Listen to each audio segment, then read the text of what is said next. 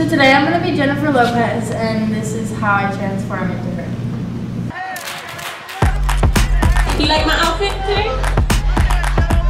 Let me show you. You know, this is kind of a last minute thing, but I'm real happy. I, I like the way it came together.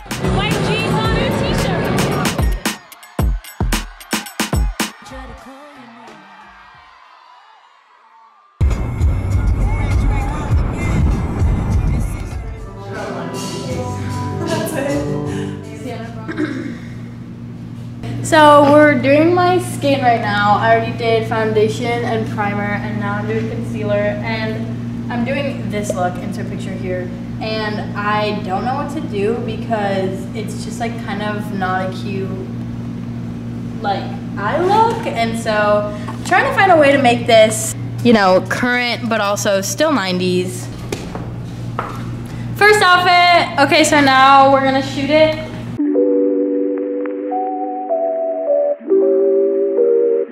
Almost like we're even there.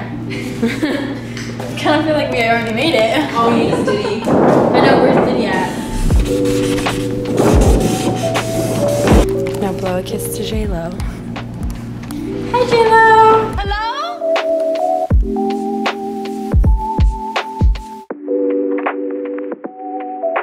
So I wanted to be J-Lo this year because J-Lo is a Latin dancing curvy queen, which are things that I hope to be when I am J-Lo's age. She was one of the main pop stars with like a curvy body when I was growing up. And as you guys can tell in my low-rise jeans right now, I'm not the so I just really looked up to her and the way that she wore her clothes and the way that she wore her confidence.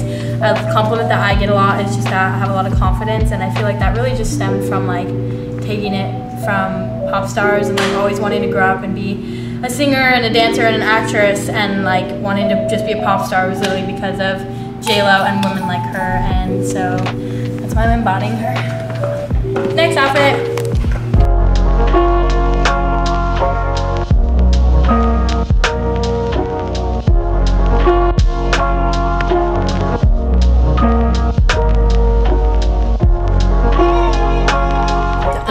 I And then look what are we so bad right now. I look like every 12 year old at their second dance recital. Why are you laughing? Is it because it's true?